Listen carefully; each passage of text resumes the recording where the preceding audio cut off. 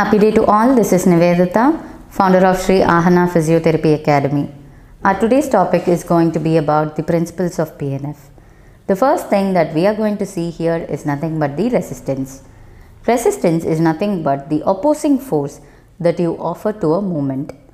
When the patient tries to perform some movement, when you try to oppose him, for example, say if the patient is trying to do elbow flexion, this is free movement. A resisted movement is nothing but you trying to push down the patient's hand and the patient should do elbow flexion opposing your force. So this is termed as resistance. Now this resistance should be correct enough for the patient's condition and the goal that you need to achieve.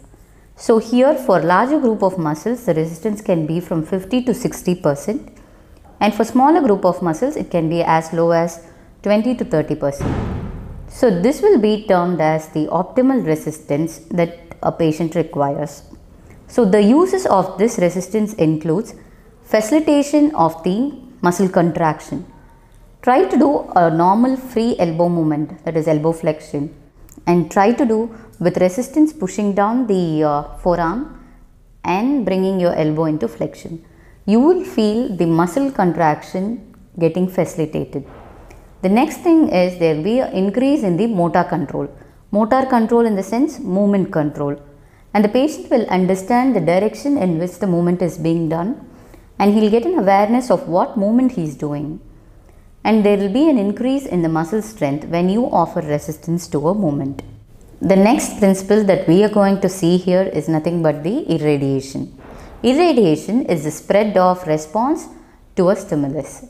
When you give maximum resistance to this movement, what happens is the stronger group of muscles in the pattern that we are doing, say only my biceps is weak, the other muscles that are required for this movement, my shoulder muscles, my forearm group muscles, everything is strong enough.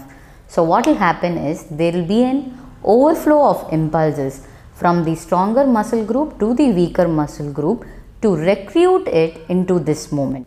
Consider that the biceps is weak. When the shoulder group muscles and forearm muscles are going to be strong enough, this irradiation technique will cause an overflow in the impulses that will help the biceps to complete this movement. So this is why patterns are useful in treating weaker muscle groups. Reinforcement is nothing but recruiting more number of motor neurons to strengthen your movement. The next thing that we are going to see here is nothing but the manual contact. Manual contact will stimulate the muscles as well as if it is going to stimulate your synergistic group of muscles which will uh, help in the reinforcement of the muscle groups.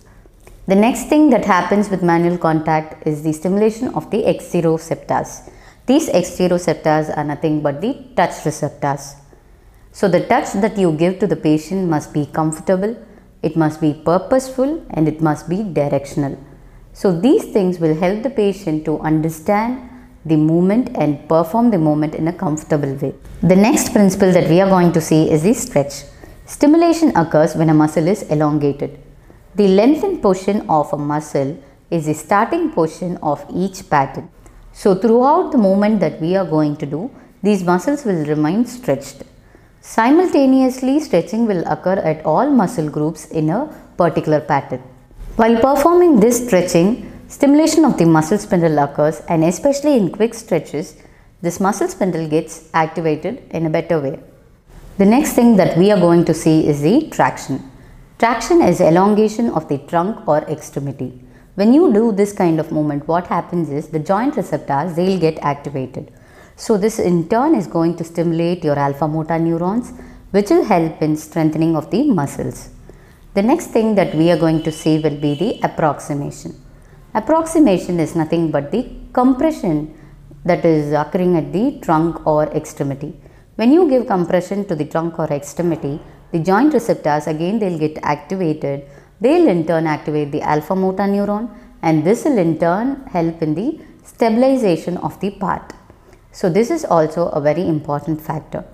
The next thing, the verbal command, it is the most important thing in making the patient to perform a movement.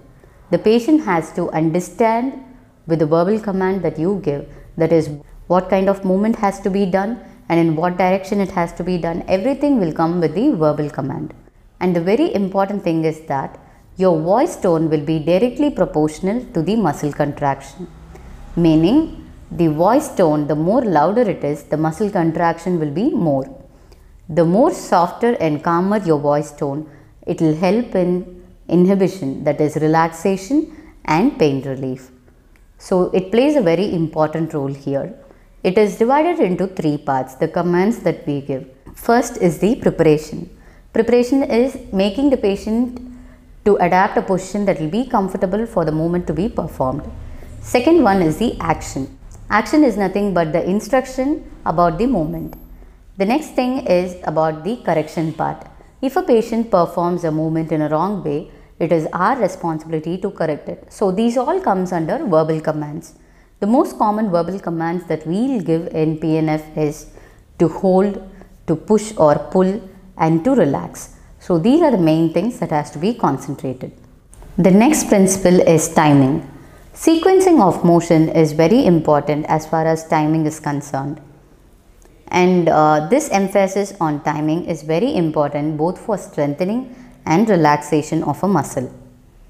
The next principle is going to be about the body position and mechanics of the physiotherapist.